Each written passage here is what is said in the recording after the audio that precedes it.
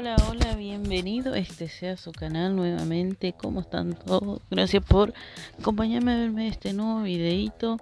Eh, bueno, acá les estoy por traer un diseño de moda que está últimamente. Em, como pueden ver, esta es una manita de práctica que me pude comprar. Eh, hace rato que ya quería algo así. Y bueno, vamos a estar poniendo la base de cherimoya. Cambié la base porque ya no me estaba resultando la base de meriné. Así que vamos a estar colocando una capita media gruesita. Eh, por mi ausencia, larga ausencia. Pero como estoy haciendo otras cositas por ahí, me atraso con el tema de, de acá de traerles videitos en YouTube.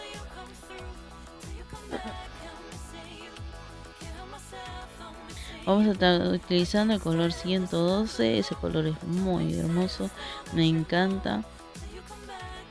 Y vamos a estar colocando una capa fina y luego una capa gruesa para que, se note nuestro color muy bien y uniforme. Eh, me gustaría eh, invitarle a mis redes sociales como Instagram, eh, Kuwait, YouTube, eh, YouTube, bueno acá, eh, TikTok, eh, para que me vayan y me siguen y me apoyen. Eh, regálenme un like, compartan el video si es así, si les gusta. Porque eso me anima también a traer mucho más videitos enseñándole más. Yo sé que en esta plataforma por ahí es medio difícil poder arrancar, poder eh, crecer rápido, digamos, ¿no? Yo hace muchos años que estoy acá y no veo demasiado apoyo en el canal y, por ahí, viste, a uno le, baja la, moral. Y bueno, y eso hace también que no, no tenga ánimos de venir a traerle eh, videitos, de enseñarle. Yo soy de la parte argentina y la verdad yo no veo muchos canales de chicas argentinas enseñando uñas, son muy pocas las que he visto.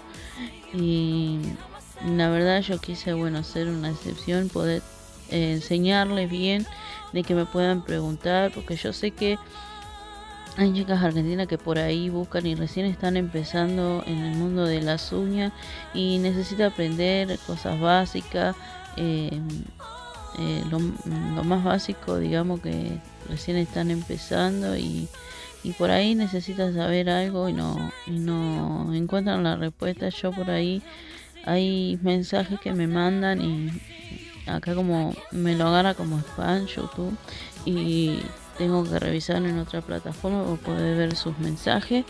Pero hay mensajes de hace varios meses y la verdad me, me, pone media mal porque eh, yo quiero contestar a todo y, y no esos mensajes no se ven, la verdad, eh, acá, digamos, si yo los veo acá no se ven. Eh, así que intentan no poner tanto emoji y todo eso, no sé por qué lo agarra como spam, YouTube, no tengo ni idea, no me pregunten. Eh, pero bueno, yo lo posible, yo le voy a responder igual. Así que bueno, acá ya estamos empezando con el, la mano alzada. Este es un color semi permanente azul. Eh, no sé si he mostrado el número, pero es un azul muy, muy, muy lindo. Y, ahí le estoy mostrando más o menos lo, básico, como sería para hacer una flor básica, ¿no? Ahí estoy usando otra clase de pincel más largo de liner eh, para poder hacer esta línea eh, mucho mejor, mucho más cómodo porque también tiene que ver la diferencia de, los distintos pinceles que hay que usar para poder hacer distintas líneas, distintas formas. Eso te ayuda mucho. Por ahí hay mucha gente que no le da como pachorra o no sé qué. Se eh, eh, quedan con un solo pincel y por ahí no sale bien. ¿Por qué? Porque para eso están los diferentes eh, largos, diferentes grosor y todo eso. Por eso hay que usarlos, hay que, si por ahí tenés alguno viejito, también lo podés afinar, lo podés cortar, hacerlo más fino. Este, por ejemplo, lo he comprado acá en mi ciudad y me salió bastante bueno. Eh, no lo tuve que cortar, no lo tuve que afinar, me gustó porque he visto que hay pinceles que vienen de grueso a finito. Yo les recomendaría esa clase de pinceles porque porque eso hace que el círculo salga bien. Yo me di cuenta de eso. Eh, en cambio, los otros que son derechos, finitos, eh, medio durezque, no, no, no te ayuda en nada, no, no, no. Por ahí zafa y sale medio raro el dibujo. Así que le recomiendo una clase de ese. También he comprado tres pinceles más de ese estilo que he conseguido. Así que eh, si puedo le voy a estar mostrando los pinceles acá. Y díganme qué es lo que quieren aprender, qué es lo que quieren que les muestren. Porque por ahí veo que les gusta mucho también. Eh, pero últimamente no sé, igual eh, he subido algunos videos y no, y no se vieron mucho, pero le gustaba mucho el tema de las compras y todo eso. Está bueno ver así porque son productos que por ahí hay acá en Argentina y, y no saben no, no eh, dónde conseguir y todo eso. Yo puedo decir que lo pueden conseguir en Once, en, no sé, en Escobar, no sé, depende de donde viva uno también, ¿no?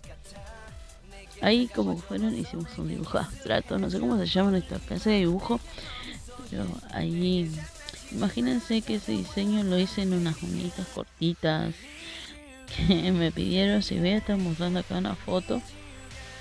Si ustedes quieren pueden ir ver a, a Kuwait. También en Kuwait tengo como lo hice. Y si quieren ir allá apoyarme solamente con una vista, creo que o un comentario y quedarse para seguir viendo. Son videos cortos eh, no son largos como acá. Bueno ahí voy a estar haciendo en esta en esta uña lo mismo. Acá voy a estar haciendo parecido pero no tanto. Yo a este diseño lo llamé diseño italiano porque tiene estos dibujos como de la cerámica antiguos o sea las cerámicas de, de allá que se ven mucho eh, mi viejo es de poner en las casas esta clase de cerámica, él es albañil y pone, a veces le, le, le mandan o le dicen que quieren esta clase de cerámica y eh, hay que usarlo, qué sé yo, hay que ponerlo en la casa, hay que saberlo combinar porque no, si no quedan, no quedan muy lindos. Como pueden ver los trazos y los puntos son bastante fácil, así que viendo cómo hago la, la florcita. No, no, no tiene mucha explicación. Yo le he puesto top coat antes de hacer los dibujos.